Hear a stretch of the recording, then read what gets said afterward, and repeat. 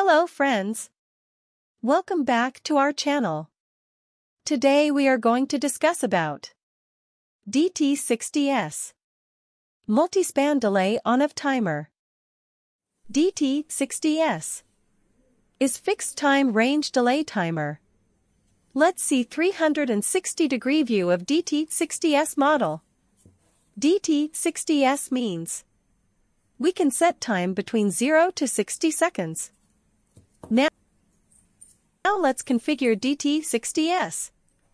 Here we have turned on condition for on delay. That means if we start power supply relay will be turned on after 10 second. So here we can see our LED bulb will be turned on after 10 second.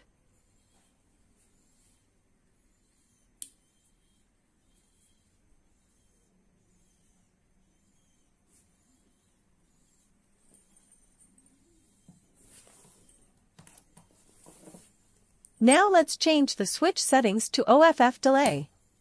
That means relay will be turned off after 10 second. After giving power supply our LED bulb will be turned off after 10 second.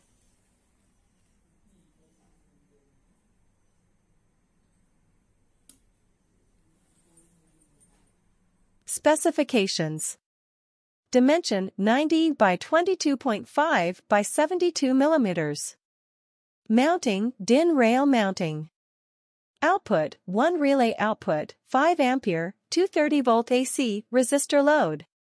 Power supply, 230 volt AC plus or minus 20%, 50 Hz. Time range, 0 to 10 second, DT10S. 0 to 30 seconds, DT30S. 0 to 60 seconds, DT60S. 0 to 15 minutes, DT15M. 0 to 30 minutes, DT30M.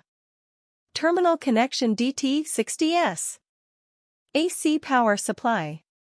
A1 and A2, 230 volt AC plus or minus 20%, 50 60ths Hz. DC power supply 25 plus and A2 minus 24 volt DC. NO, 18, C, 18, and C. 16,